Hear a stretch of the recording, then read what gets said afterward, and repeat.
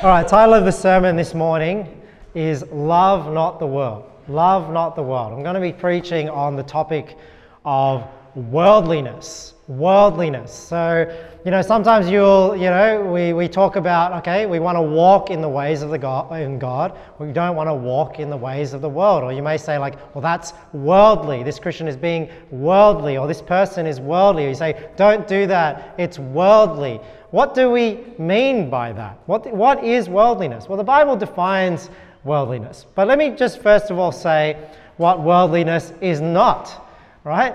So, worldliness is not just things that are new. Right? So some people think worldliness is, oh, you know, you preach against worldliness. You say all these things against worldliness, but look, you, you use the internet, you use a computer. Oh, you know, these things. Well, well, things are not worldly just because they are new, such as technology. Also, things are not worldly just because they are a tradition that is not necessarily in the Bible. There are many traditions that are not sinful. So, for example, celebrating an anniversary, celebrating a birthday, you know, celebrating Christmas and Easter. And we're, we're not going into the topics of all the debates about those.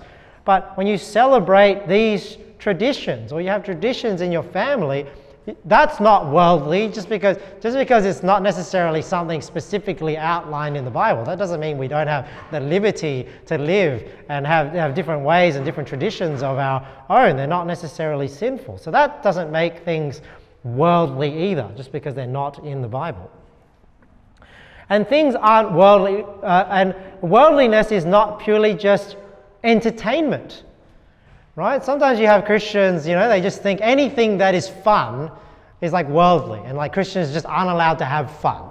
You know, you're not allowed to listen to music. You're not allowed to, to dance. You're not allowed to, you know, watch a movie. You're not allowed to have leisure. You know, you're not allowed to play sports. You know, some people are passionate about sports, right? And sports is a good thing. It keeps you healthy, gets you entertained. We just don't want these things to be prioritized above God. But is it worldly? You know, is it like you just label everything as fun? As like this is just worldly. That's sometimes how fundamental Christians go too far the other way, and they just say well, they just call everything worldly. No, worldly has a definition in the Bible, and this is what it means to be worldly. So we're going to talk about worldliness today. This is why we read from 1 John 2. the Bible says here, 1 John 2, says, Love not the world neither the things that, that are in the world. If any man love the world, the love of the Father is not in him. So you see, it's not just things that are worldly that are just things in the world. It then goes on to define what it means by worldly. For all that is in the world, and we have three categories here that are given. I'm going to talk about each of these three categories today. For all that is in the world, the lust of the flesh, and the lust of the eyes, and the pride of life is not of the Father, but is of the world. And the world passeth away, and the lust thereof. But he that doeth the will of God abideth forever. So notice how what is worldliness characterized by? It's characterized by lust, right? Lust of the flesh, lust of the eyes, and even pride really is a sense of lust too, right? Because you're desiring to lift yourself up higher than you ought. Maybe you're putting yourself above God, even. And then it says here in verse 17, and the world passes away, look, and the lust thereof. So, this is what worldliness is characterized by. It's characterized by lust.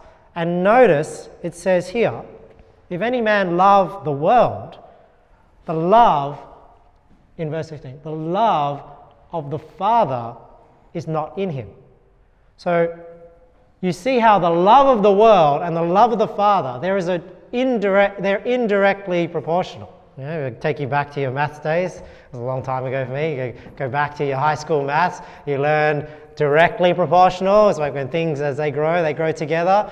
But the love of the world and the love of the Father, the love of God, they are indirectly proportional. What does that mean? The more you love the world, the less you love God right? The more you love God, the less you're going to love the world. And like I said, not the misunderstanding of what worldliness is, it's what's defined here the lust of the flesh, the lust of the eyes, and the pride of life. So, inversely, we could say it, you know, the more you love the world, you can see for yourself, that's how much you love God. That's revealing how much you love God. And likewise, vice versa, right?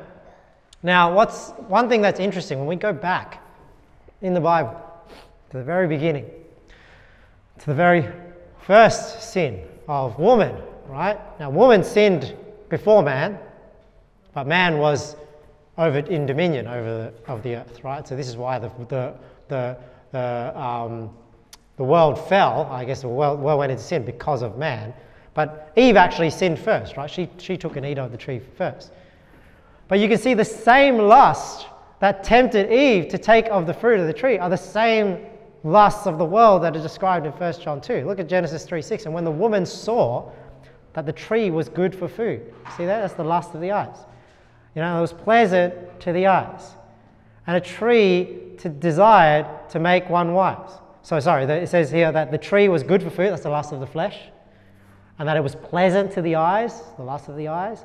And a tree desired to make one wise. Why is that the pride of life? Because remember, Satan said to her, Well, no, because God's keeping things from you. Right? So, this idea that they know better than God, we're going to eat this fruit so that we can know this thing that God is keeping from us. So, that's this pride of life. She took of the fruit thereof and did eat, and gave also unto her husband with her, and he did eat. So, that's a bit about one. Now, let's get into each of these three things that, that 1 John 2 tells us the lust of the flesh, the lust of the eyes, and the pride of life. The first one we're going to talk about is the lust of the flesh. The lust of the flesh. Now, when we think of the lust of the flesh, some, some obvious ones come to mind, right? You got drugs, substance abuse, drunkenness, gluttony. Now, really, even though you know we say drugs is like a separate category, because we're talking about people just using that specific substance. You really can be, it can really be in the category of food, right? So the Bible doesn't really talk about drugs per se. The Bible talks about being a glutton and being a drunkard, because really either you're drinking something or you're eating something, you're consuming something. And even drugs, you know, they, they tend to come from natural substances, right? It's just that they're used in quantities that are not right and, they, and they, you're no longer sober. So this is why people, um, I, I, think I've got this right, you know, they'll eat like an orange and poppy seed muffin or something and then they might test positive for heroin, right? Because it's like the same substance is in it. But what's the problem when we're talking about drugs?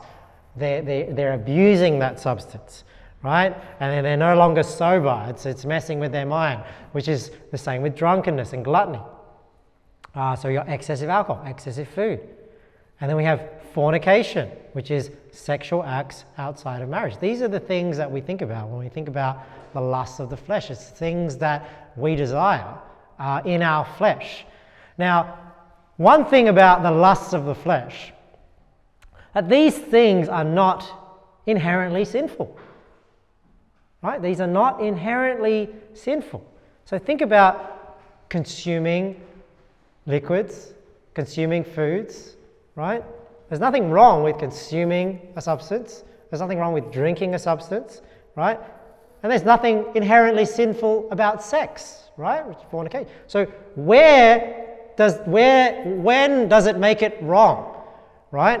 Where it is wrong is when it is practiced outside the, the moral boundaries. Right? So when it comes to food and drink, it's the excess of these things. And that's why when it's same with drugs, like, you know, is it, is it sinful then to eat a poppy seed muffin? No, but you're consuming the same stuff. When, what is wrong? What's the lust of the flesh? It's when you're taking out that chemical and you know, putting it in higher volumes and injecting it into your bloodstream and getting the high, becoming addicted to it. That's the problem, right? So it's the same. Food, you know, people, you know, and Christians, you know, they'll talk about smoking and cocaine and heroin, all these things all day long, but yet they don't talk about their own addictions of like sugar and caffeine and all these sorts of things. That, they, you know, they don't have their coffee in the morning and they're just all their joy is gone. They're terrible. They're in the flesh and everything. Uh, how do you think a drug addict is like? Right? It's the same thing. So it's the same when people they, maybe they, they get addicted to sugar and they're just like drinking soft drink all the time and they're overweight and things like that. So sometimes Christians, you know, they can focus on the sins that they're not doing, but then they don't think about how the lusts of the flesh actually impact them as well. And like I said, there's nothing wrong with the sexual act, but when is it wrong? It's when it's outside of marriage. You know, so outside of marriage, whether that's, you know, just what we consider fornication or homosexuality, bestiality, all sorts of other things, you know, multiple wives and all that, because it's outside the bounds of marriage, which is one man and one woman for life. So let's look at some verses here where we see it's, it's not, so they're not sinful in and of themselves. And this is where you need to understand this point because you don't want to take a stand on things and be not sound in your position, right? Where people just think, well, hey, this thing is sinful, that thing is sinful, where they just think it's the mere consumption of it. No, it's the excess consumption of it. And I remember even having conversations when I was a younger Christian, because I, you know, when you're a younger Christian and you're trying to be black and white, and there's no nuance in your positions, you know, you're saying, oh, it's a sin, telling your friends, hey, it's sin to smoke. But I remember, I remember having the argument with them. They're like, well, you know, people can abuse sugar. You're, you use sugar. So they, they say, well, if I have one cigarette, what does it matter? You know, you have a soda, same thing. Uh, yeah, that's a, that's a fair point, right? So this is why it's, it's the abuse of these substances, right? It's the addiction. That's the problem. It's the excess Now, nobody's really saying where that line is, right? So, you know, the Bible gives us principles, and we're trying to stay as far away as that line as possible. So, nobody's saying we know exactly, you know, the milligrams of how much you're allowed to consume until you go over that line.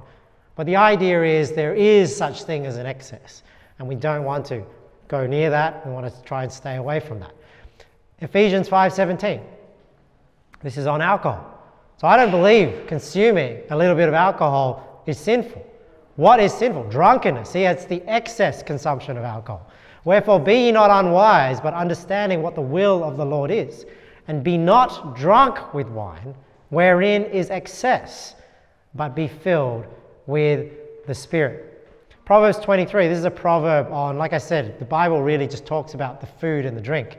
Hear thou, my son, and be wise and guide thine heart in the way. Be not among wine bibbers and among riotous eaters of flesh. So this is referring to the two, the drunkenness and the gluttony, right? For the drunkard and the glutton shall come to poverty, and drowsiness shall clothe a man with rags. So not only is it warning us against drunkenness and gluttony, but it's also warning us against the sort of company we keep. Right? So you don't want to be worldly yourself, but you don't also want to be around worldly people because they also will impact, you know, affect you and influence you to start being worldly. This is why the Bible says, Be not among wine bibbers and among riotous eaters of flesh. And sometimes those of us who were not Christians before, we grew up with a lot of worldly people. Then we get saved and we keep hanging around these worldly people and we wonder why it's so hard for us to stop being worldly. It's because we're not you know, we keep being among these wine bibbers and riotous eaters of flesh all the time, and they're just our main circle of influence, and they're influencing us. You know, they're influencing, they're making it harder to give up those things. It's no different to a smoker. Like a smoker is trying to give up smoking, but if they're hanging around smokers all the time, I mean, how much more difficult are they making it for themselves to walk in the Spirit and to not be worldly when the people they're hanging around are worldly. Now, I'm not saying that you just cut them off completely. You know, you want to be able to influence them, but you need to be aware that it's a lot easier to be pulled down than it is to be pulled up. And you need to take heed unto yourself to make sure you're not pulled back because when you want to be able to influence them, but the tendency of sin and gravity, you know, the gravity of sin is pulling you back, likely it's going to go the other way. So you see the drunkard and the glutton, the food and the drink. Look at what it says here in Deuteronomy 21. Notice here the, uh, the, dis, the disobedient uh, child in Deuteronomy 21. And this is not talking about babies and infants and very young children. It says here in verse 18 If a man have a stubborn and rebellious son, which will not obey the voice of his father or the voice of his mother, and that when they have chastened him, will not hearken unto them, then shall his father and his mother lay hold on him and bring him out unto the elders of his city and unto the gates of this place. And they shall say unto the elders of his city, This our son is stubborn and rebellious. He will not obey our voice. He is a glutton and a drunkard. And all the men of his city shall stone him with stones that he die. So shalt thou put evil away from among you, and all Israel shall hear and fear. So, like we talked about last week, you know, honoring your parents, you know, God takes you know, respect in society very seriously, where, you know, even disobedient children, we're not talking about young children, right? You can see here the, you know, we're not, we're not talking about, you know, young children that don't really know what they're doing. It's just the natural rebelliousness of, of children. We're talking about an older, you know, maybe a teenager even, or a young adult who is rebellious and stubborn. You can see he's a drunkard and he's a glutton. And, you know, this is, this is the penalty for them if they continue in that rebellion, and they can bring them before the judges and, and make an example of them. Notice there the drunkenness and the gluttony. It's not just the consumption of it, it's the excess. Now, 1 Corinthians 7 is talking about fornication, right? So there's nothing wrong with sex. Sex in and of itself is not worldly. So it's not like, you know, as I understand, sometimes the Catholic view of sex is it's just dirty in and of itself. No, there's nothing wrong with sex. Sex existed prior to the fall of man, right? Sex was something God created. It's something that's beautiful between a husband and a wife. But that's where it belongs. That's where it's beautiful. Other, when it's outside of marriage, that's when it becomes sin. That's where it's a lust of the flesh. Now, concerning the things whereof you wrote unto me, it is good for a man not to touch a woman. Nevertheless, to avoid fornication, let every man have his own wife, and let every woman have her own husband. Now let's look at 1 Corinthians 6. This is the last passage I'll look at in lust of the flesh. we all know that, you know, our body is the temple of the Holy Ghost, it doesn't belong to us. But if you read the context of 1 Corinthians 6, it really is about, what is it? Food, drink, right? These lust of the flesh, and fornication. That's why there's lust of the flesh. There's not really that many, if you think, if you think about it really, there's not really that many categories of sins. People are struggling with really the same sorts of stuff. And, you know, obviously substance abuse, whether it's food or drugs or alcohol, or fornication, right, which is, you know, having sex outside of marriage. 1 Corinthians 6 says here, All things are lawful unto me, but all things are not expedient. All things are lawful for me, but I will not be brought under the power of any. So you see there, that, that is what I was referring to before. That things aren't sinful necessarily in and of themselves, like a substance. Right? Is it, is it all right to consume that substance? Yes. But what is he saying here? But is it, is it a good thing? Is it expedient? Does it help you? Does it help others to do this thing? So wisdom is about should you do it, not whether or not it's are you allowed to do it. Right? So you, you can be allowed to do a lot of things in the Christian life. You have, you have that liberty, it's lawful. But should you do it, is the question that is being asked here. Is it not all things are expedient? All things are lawful for me, but I will not be brought under the power of any. You know, that's another way you can say that, but I'm not going to be addicted to any of these things. You know, I'm not going to let these things control me. Meats for the belly, and belly for the meat. So you see here, that's talking about food. But God shall destroy both it and them.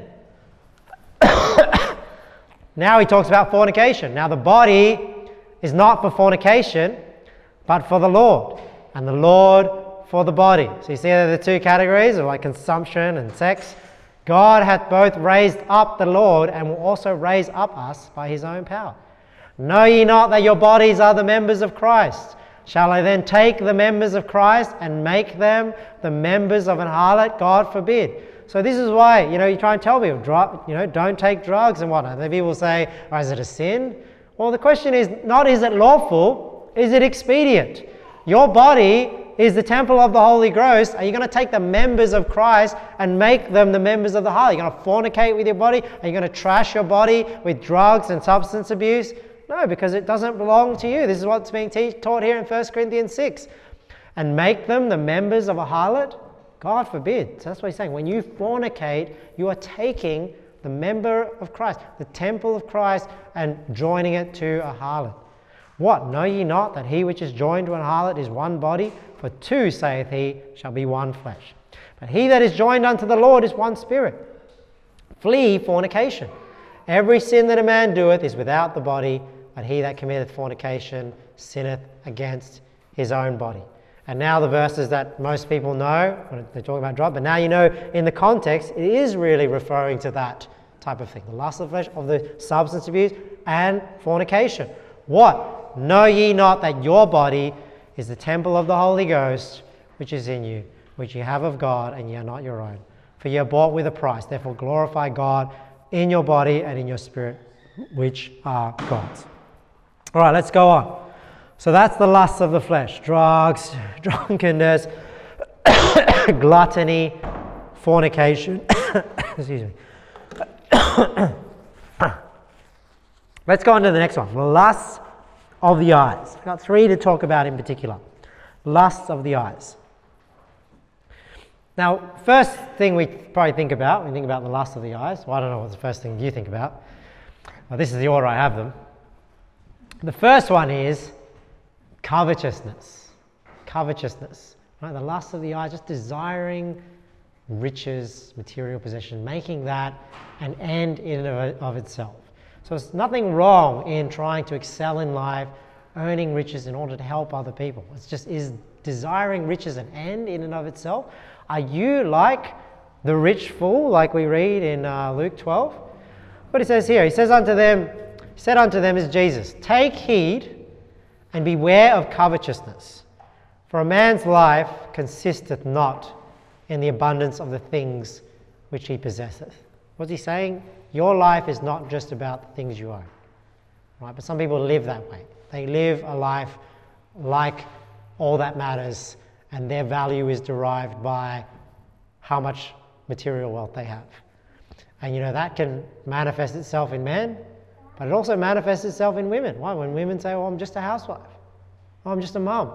And, and they think the value ascribed to you is how much you earn and how much net worth you have. And Jesus is saying, hey, beware of covetousness. A man's life consisteth not in the abundance of the things which he possesses. Your life's value is not determined by the net worth of the material things that you own. And he spake a parable unto them, saying, The ground of a certain rich man brought forth plentifully. And he thought within himself, So this guy's doing well. He's, he's, he's, not, he's not poor, he's well off. His business is booming. His ground brings forth plenty. And he thought within himself, saying, What shall I do? Because I have no room where to bestow my fruits. And he said, This will I do. I will pull down my barns and build greater. So, this idea that this person was not content with even being successful already. I mean, and sometimes that happens in this world. People are already successful, they're already doing very well, and instead of then now using their riches and their abundance of time to serve God, to serve other people, which is really why God is blessing them with these riches, no, they use that to serve themselves right?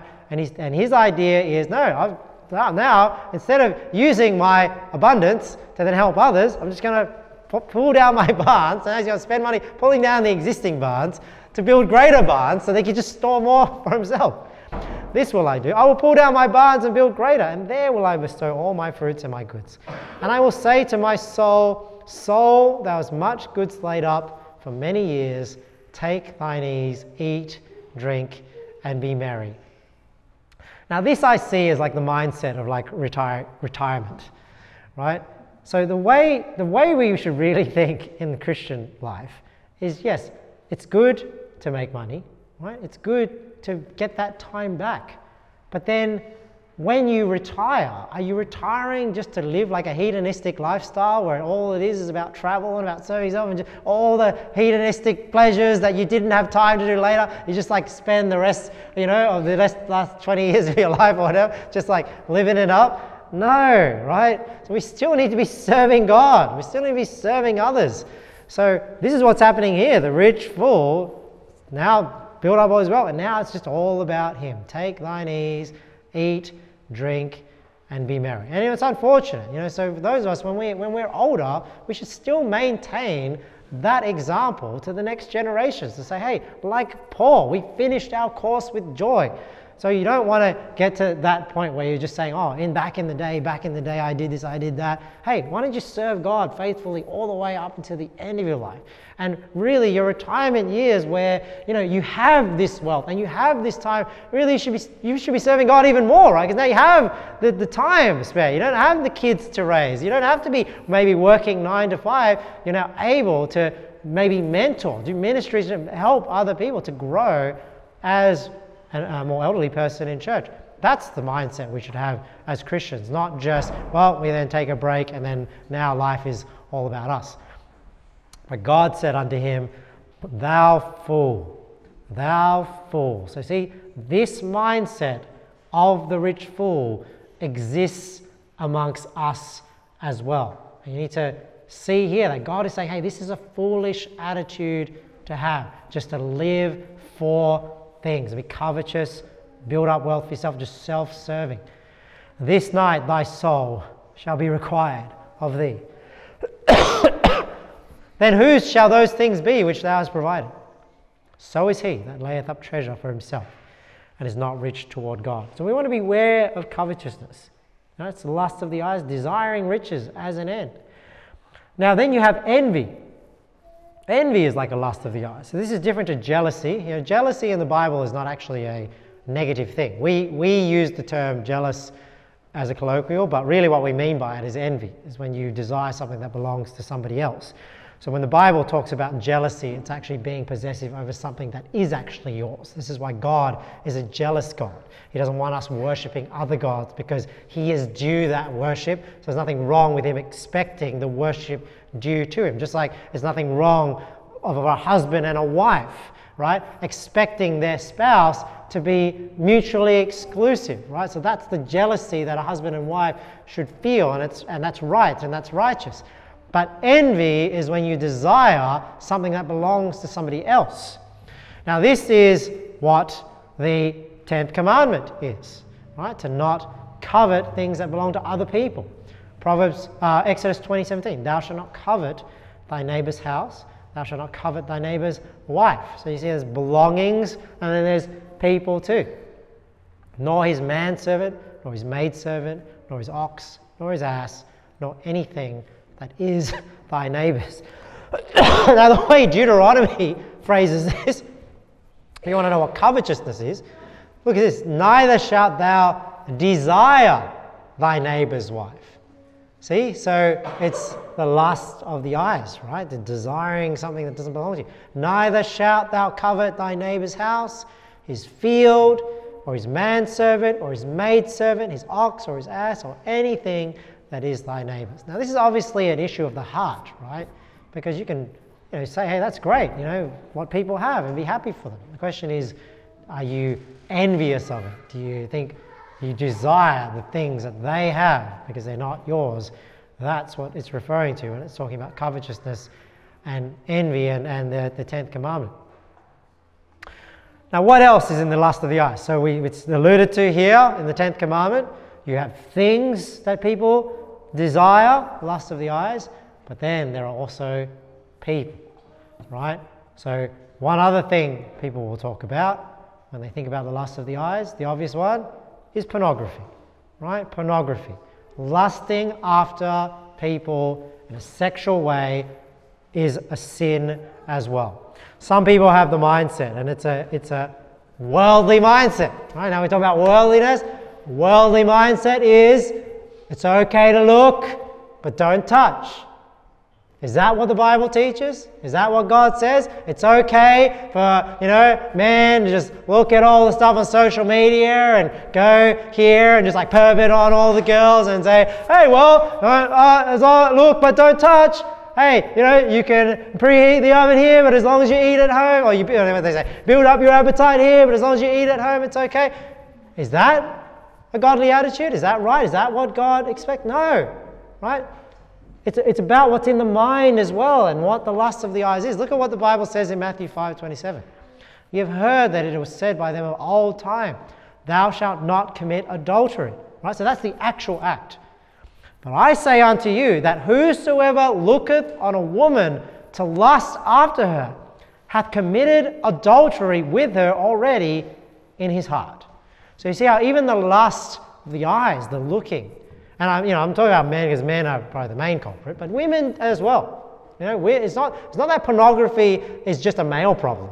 Pornography is also a female problem too. It's just more stereotypically, it's men in probably proportion wise. But women also struggle with this sin as well. Well, my point here is that, hey, that is a sin too. Now, it's not the equivalent. So, this is where sometimes people misunderstand. You know, looking with lust, no, it's not the equivalent of committing adultery, but it is committing adultery in your heart. Right? It, is still a, it is still a sin. It's something that we should not indulge in, and we definitely should never have the attitude of it's okay to look but don't touch, because no, both are wrong. Right? To look, to look, and to lust is also wrong, as well as to act on it. Now, sex is just like a drug, if you think about it. And you have to take care of it like, a, like, like you've got to be aware of drugs as well. Because sex creates a high that is addictive, just like drugs do, right? And if it's not used within God's boundaries, it can destroy a person. So think about when you think of the, um, the, the drug addict, and you think, you know, that person can't get motivated, that person's like addicted, and everything they do is about obtaining that. That's pornography is the same. Has the same dangers, right? Because, like I said, sex and the sexual gratification is just as addictive and just as dangerous as just like a drug. And this is why you see, you know, a man's sexual drive, and I'm talking about men because it, it, it impacts men more so than women. But you think about a man's sexual drive ought to encourage him to excel, right? It ought to encourage him to, to mature and commit to the one woman. Right? Think about when a, when a man is dating a woman. Right? They say, like, you know, women probably say, you know, when you were dating me, you moved mountains, right? And why is it? Because that's a powerful force, right? The sexual drive of man that he's willing to like move mountains. It's, a, it's, a, it's one of the encouragements that actually God is using to make us a man.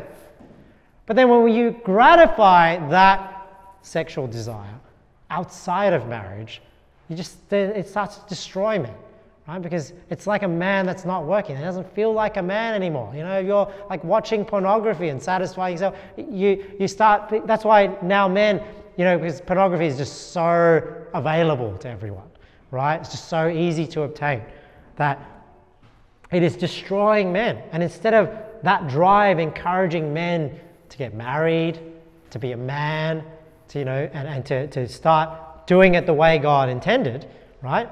Pornography can turn a man into a recluse and make them depressed. And now you have, you know, for those of you know, people that struggle with pornography and masturbation and whatnot, now they have like help groups where they're trying to get men out of that addiction because it's like a drug addiction. That's why don't, you know, like, uh, who was it? Was it Steve Irwin?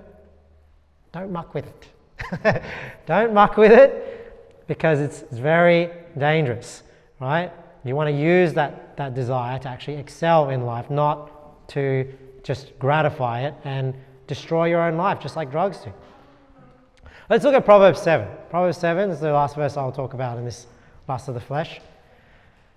Proverbs 7, I won't read the whole proverb, but two parts of it is warning about the strange woman. The strange woman. And you hear about the strange woman in Proverbs, and there's nothing new under the sun. But you know, unfortunately, with technology and social media, the strange woman is now not just on the street corner. Now she's in the palm of your hand, anywhere, accessible 24/7. For at the window of my house I looked through my casement, and beheld among the simple ones, I discerned among the youths a young man void of understanding. And sometimes I think it's so, it's, it's so unfortunate, right? Because a lot of young men get caught up in pornography. And I just think it, it, it just, like, just like a person getting caught up in drugs, it just stunts their potential. So you just feel like this young man could have been so much more, but if they, you know, started going into this, it, it stunted their growth as a, as a person. I beheld among the simple ones, I discerned among the youths of a young man void of understanding, passing through the street near her corner, and he went the way to her house. In the twilight, in the evening, in the black and dark night, and behold, there met him a woman with the attire of an harlot, and subtle of heart. She is loud and stubborn, her feet abide not in her house. right? So she's not seeking to be a godly mother, housewife.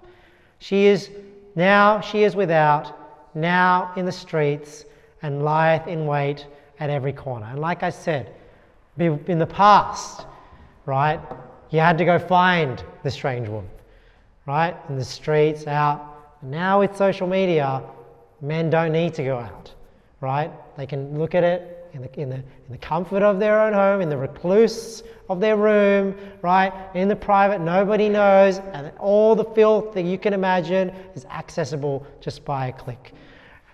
Beware of it. This is what Proverbs 7 is warning us of. You know, this, we gotta be, we gotta take care of this. This is why, you know, those of us who have young men, you know, you know, I don't let my children use their devices like just in the privacy of the room. They can't lock their doors. They're not having a computer with the internet in their room. Nobody knows what's going on because I'm not a fool. You know, I've been a young man before. I know what the temptations are. And now, you know, you can't do anything without being tempted now. Because at least before it was harder to find. But now it's just like banners just everywhere. You know, it's on you, everything. You just can't. So, hey, how can you stop that? Well, accountability. Just make sure you're not in private. So, you know, you're not just going about on the streets, unaccountable, you know, where they're lying at wait at every corner. But now, like I said, you've got to be take care with the, with the social media. Proverbs 7.21 With her much fair speech she caused him to yield. With the flattering of her lips she forced him.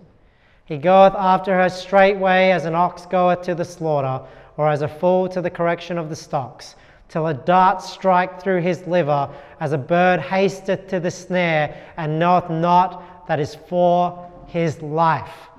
You see, it's just like I said, it's just like drugs. They dabble in it, they start getting into the social media, they're watching all the porn, and they're signing up for all the porn sites and everything like that, and they don't even realize that their life is being destroyed just like drugs is destroying their life.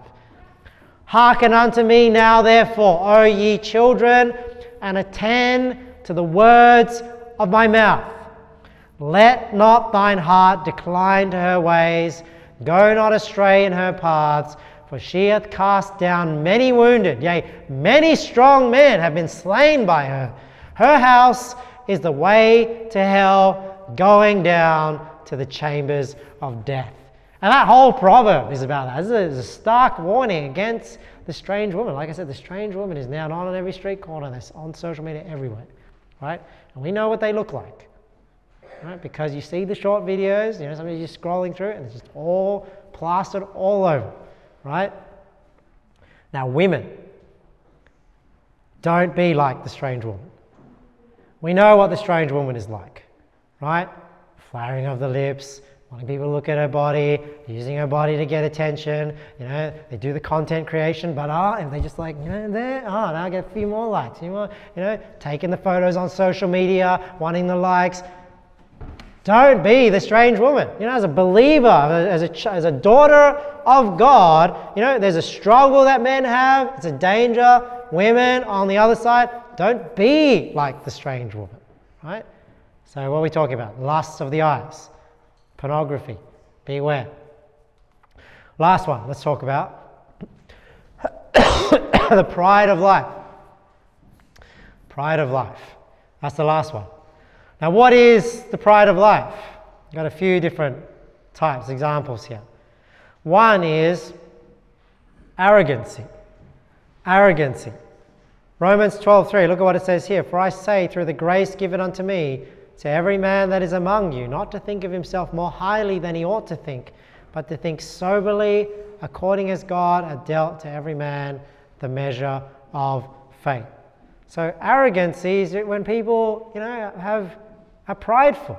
You know, the pride of life. They think of themselves higher than they ought. You know, people don't think they're a sinner. People think they can't do anything wrong. No, we are sinners saved by grace in the eyes of God, and without Jesus Christ, we can do nothing. Do we have that mindset? Or do we think we do everything? That's the pride of life when we lift up ourselves higher than we ought. The fear of the Lord, Proverbs 8:13, is to hate evil, look, pride and arrogancy and the evil way, and the froward mouth do I hate. So see, it's not only in the behavior, but it's in the way people speak. Do they have a prideful mouth? Proverbs 6:16. These six things doth the Lord hate. yea, seven, are an abomination unto him. A proud look, that's the first one. A lying tongue, hands that shed innocent blood, and heart that deviseth wicked imaginations, feet that be swift in running to mischief, a false witness that speaketh lies, and he that soweth discord among the brethren. See, the first one there, a proud look. I'm talking about worldliness today, we're talking about lust. Think about the people of the world. And the, what is better representative of the people of the world but Hollywood superstars, the movie stars, things like that? What is their look? You know, all the jewelry, showing all their wealth, you know, all the album covers. You know, either the album cover is like, you know, them trying to look cool, or it's just like a woman with no clothes. That's just like, because that's worldliness, right? What is it? It's either the lust of the flesh or the, it's the lust of the eyes and the pride of life. This is what they get people with, because this is what the sinful flesh desires. Now, what about the pride of life? Nothing, you know, is there anything more representative of the pride of life than the homosexual agenda? You know, that's like that's like both in one, where it's like not only uh, are they, you know, the, the proud look and the arrogancy, the froward mouth, but then they just want to put their filth on display for everyone to see. They march down the streets in little thongs and all, and all this filth. And not only do they commit fornication, homosexual, all sorts of acts, they want to put it on display for everyone to see. They're, proud, they're proud of it. What do they call the homosexual agenda? Gay pride. You see? So, this is what the Bible is talking about too. Look at what it says here about Sodom. We know why Sodom was destroyed. Behold, this was the iniquity of thy sister Sodom pride, fullness of bread. Right? So, let's think about the lust of the flesh. Right? Lust of the flesh, pride, and abundance of idleness was in her and in her daughters. Neither did she strengthen the hand of the poor and needy. They were haughty, committed abomination before me. Therefore I took them away as I saw good. So we can see, we know what the pride of life is. This is the things that we don't want to emulate, you know, that we don't want to be influenced by. So not only is it arrogancy, pride, what about pride of life? Self praise. You know, self praise. Talking about how good we are, you know, talking ourselves up, things like that. Proverbs 27 1. Boast not thyself of tomorrow, for thou knowest not what a day may bring forth. Let another man praise thee, and not thine own mouth, a stranger, and not thine own lips. Right? So, hey, we shouldn't be just talking about how great we are. That's, what, that's the job of others to praise a person, not praising, not self praise. Proverbs 26 Most men, so this is standard, most men will proclaim everyone his own goodness, but a faithful man who can find? So, not only is the pride of life about arrogancy, self praise, but it's also the desire for power and wealth, right? Because we want to lift up ourselves. So, people desire power and wealth. Why? Because they, they want to be served rather than serve. Look what Jesus says in Mark 10 42. But Jesus called them to him and said unto them, Ye know that they which are accounted to rule over the Gentiles exercise lordship over them, and their great ones exercise authority upon them. So he's saying, so in the world, people are trying to be served. They're trying to be the boss and have everyone serve them. But he says here, but so shall it not be among you. But whosoever will be great among you shall be your minister. What is a minister? A minister is somebody that serves, right? So when he says, hey, it's not, that's not what it should be like among you, you shouldn't be like the world with the pride of life, desiring just that everybody serves you. And this life is about amassing power and wealth so that you can be served, like the dictators of this world. Your goal is to be a minister. Your goal is to serve. And whosoever of you will be chiefest shall be servant of all. I preached a sermon once. I was serving your way to greatness. So you want to be great in the eyes of God? You serve. For even the Son of Man, you, you know, even the Son of Man came not to be ministered unto, but to minister and to give his life a ransom for many. Is that not one of the main attributes of Jesus Christ? We want to be more like Jesus, is we serve, right? Like Jesus served. He gave his life for men. He didn't come here to be served, he came here to give his life and to be a minister and a ransom. So not only the desire to be served have the power, but the greed as well. How does greed line up with the pride of life? Well, because who, who do you serve? Do you serve God or have you become your own God? Right? And you're serving yourself. That's why covetousness is called idolatry. Right? So pride is about lifting yourself up higher than you ought. And if you live your life just about laying up treasures on earth, it's all about serving you. Excuse me, what is your life meant to be about? It's about serving God. So you see how this ties in with the pride of life. If our life, and we just think it's also all about building up wealth for ourselves, like the rich fool. Look at what Jesus says here in Matthew 6 19. Lay not up for yourselves treasures upon earth, where moth and rust doth corrupt, and where thieves break through and steal. But lay up for yourselves treasures in heaven, where neither moth nor rust doth corrupt, and where thieves do not break through nor steal. For where your treasure is, there will your heart be also. The light of the body is the eye. If therefore thine eye be single, thy whole body shall be full of light. But if thine eye be evil, thy whole body shall be full of darkness. If therefore the light that is in thee be darkness, how great is that darkness? So you can see here that the layup for your treasures in heaven is tied in here with Matthew 6:24.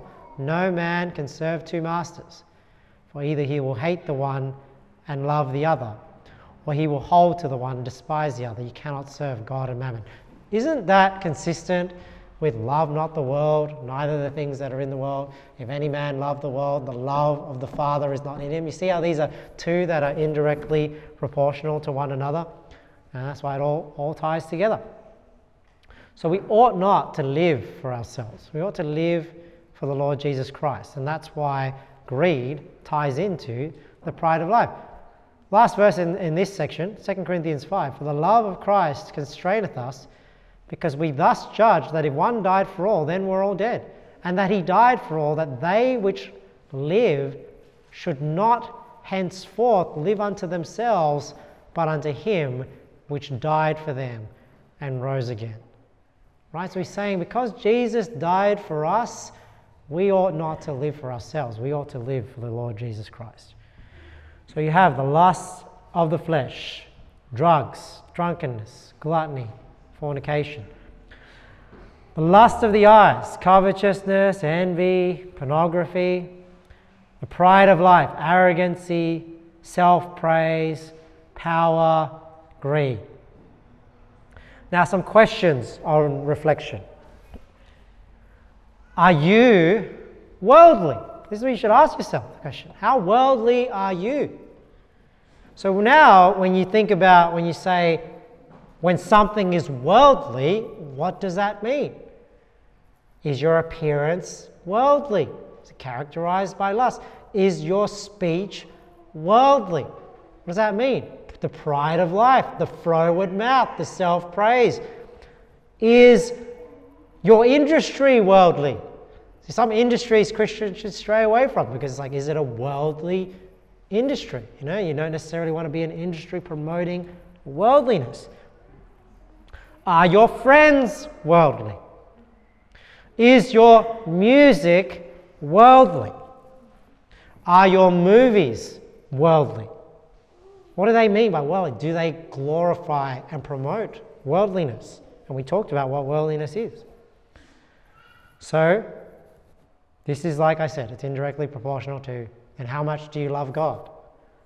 Right? So that, that's how you reflect on it. The worldliness versus your love for God, because these are indirectly proportional. 1 John 2 Love not the world, neither the things that are in the world.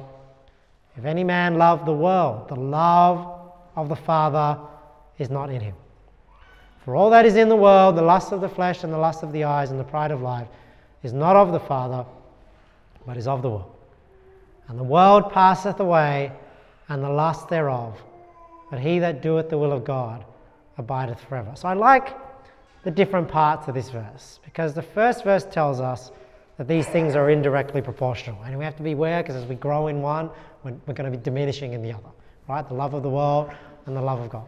Then it tells us this is what worldliness is. These are the things that we have to be aware of. And then verse 17, it's almost like saying these things aren't worth it because they're temporary. The world passeth away, and the lust thereof. But he that doeth the will of God abideth forever. And we know from experience that that is the truth. That we dabble in worldliness, you know, and we, we, you know, been all of us, including myself, been worldly at times. But it's a good reminder today that it's not worth it, you know. And all those things will be temporary. All those things will be done away. But the things you do for God, the love you have for God, will abide eternally, and you'll be rewarded for eternally. All right, let's pray. Thank you, Lord, for your word. Thank you for the reminder this morning not to be worldly. And we learned what worldliness is. Lord, help us. So hard to fight against the sinful flesh. So we ask for your grace, Lord. We ask for your mercy. Help us to live lives pleasing to you. Help us to be renewed in our mind. Help us to be that reasonable, that sacrifice, re- that do that reasonable service. Don't let us be conformed to this world. So we ask you to help us, Lord. Use us for your glory. We pray in Jesus' name. Amen.